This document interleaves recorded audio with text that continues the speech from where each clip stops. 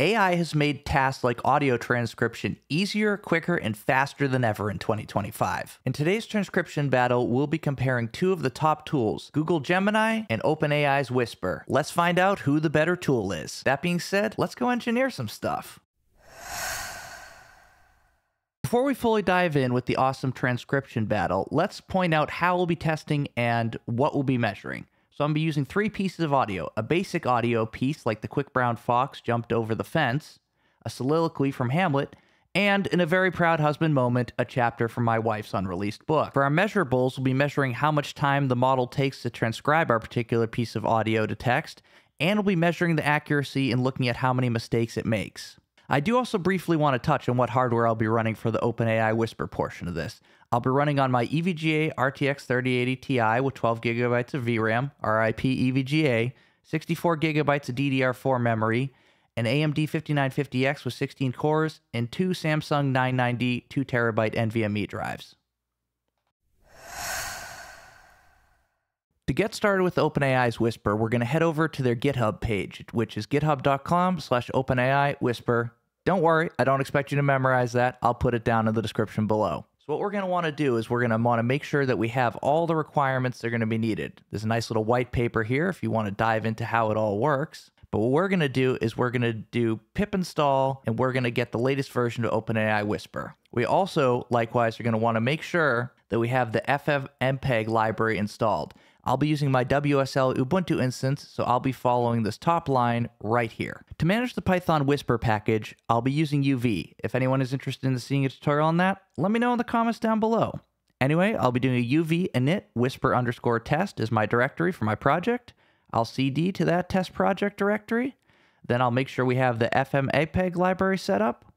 And as we can see, we're installed with the latest version already, which means we're good to go for that dependency. To set up the virtual environment, we're going to install the Whisper package. We'll use vuv venv, and then we can activate our virtual environment with the source.venv bin activate command. Run that. And now we're there in our virtual environment, ready to install the Whisper package as needed with uv pip install and the link to the GitHub package in the whisper.git file that'll automatically get the latest git tagged version of Whisper. As we can see, installs very quickly and we're ready to go with Whisper now. To start our transcription process with OpenAI Whisper, we'll paste the command whisper and then the path to our audio file. We'll hit enter, give it a second or two to run.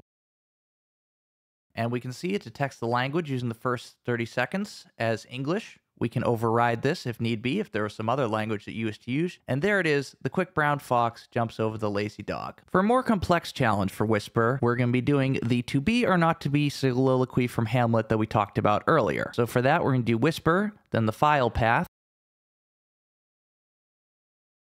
And then after some time, we can see here is the result of the transcription effort.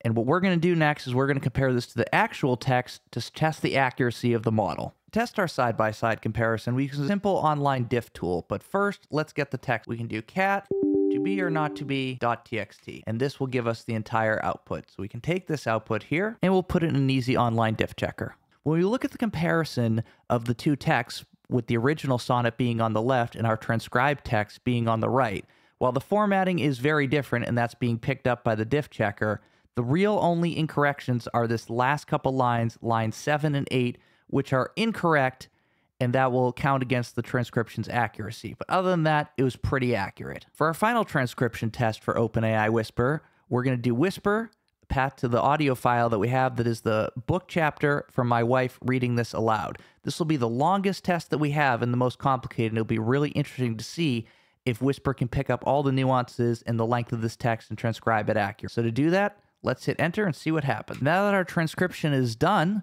we can go takes the take the text file of this and make sure that we put that into our diff checker to just test how accurate the model really is. So again, we're going to do cat and we're going to do Megan book chapter dot .txt and we'll get this entire output that we're going to put into the diff checker now. If you look at our diff checker, we see on the left the original text from the book and right is our transcribed text.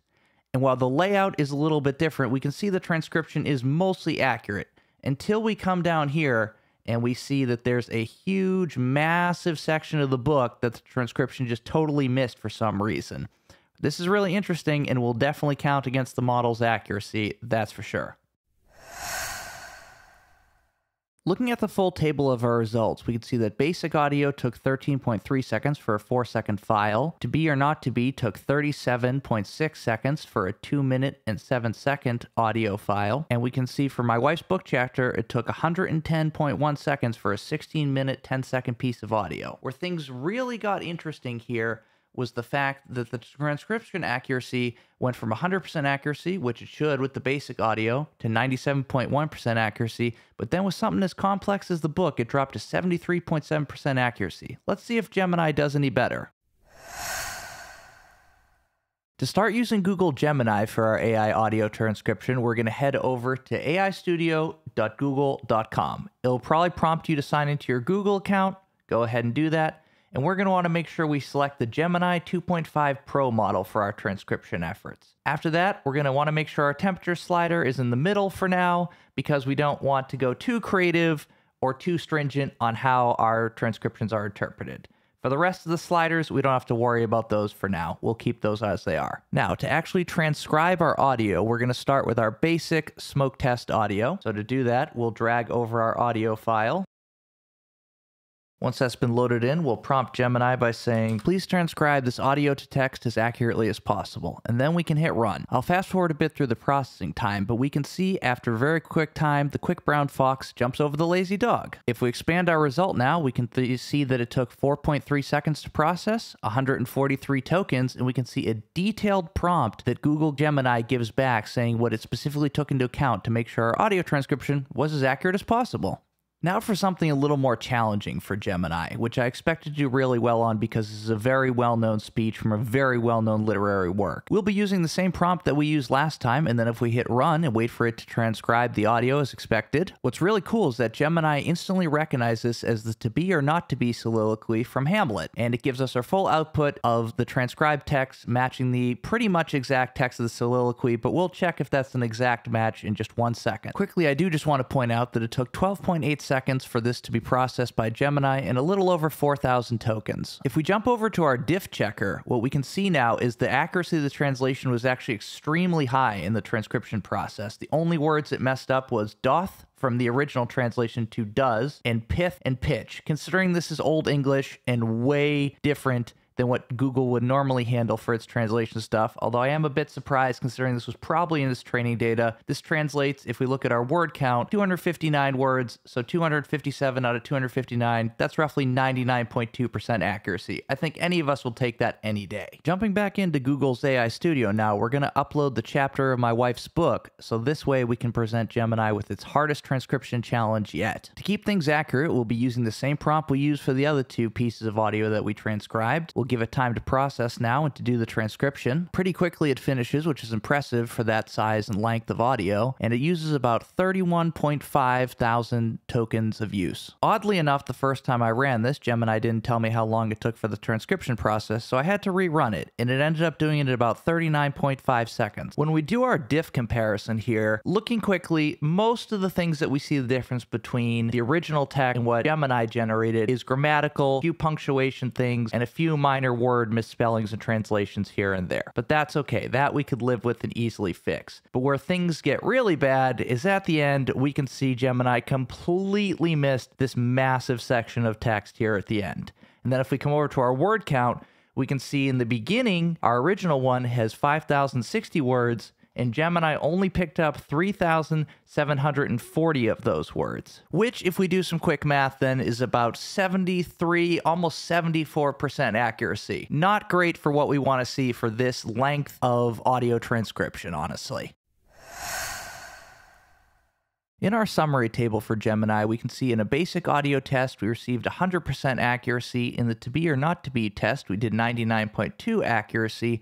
But things really started to fall apart, unfortunately. We had a much larger file size and had a much more complex audio, which many more tokens. Then the accuracy dropped significantly. And as I said previously, whole portions of that audio were missed. That being said, Gemini made it super easy to get up and running with its cloud based AI studio. And I'm sure if I prompted to have it fix it, we could do that. But I want to keep the prompts fair. That being said, I would definitely continue to use Gemini, and it's great get going with transcription when you need it fast. OpenAI Whisper versus Google's Gemini. And the winner is, well, like any tool, it depends on what your needs are, what you're trying to do, and the outcome you're looking for. OpenAI Whisper makes for a fantastic tool hosted by yourself that you can run locally anytime, anywhere. And likewise, Google Gemini makes for a great cloud solution that's cheap and affordable and equally as easy to get started with. Which AI transcription tool are you going to try first? Let me know down in the comments below. And if you have any questions, let me know as well. I'll be happy to answer to them. As always, I'm Sam the Engineering Man,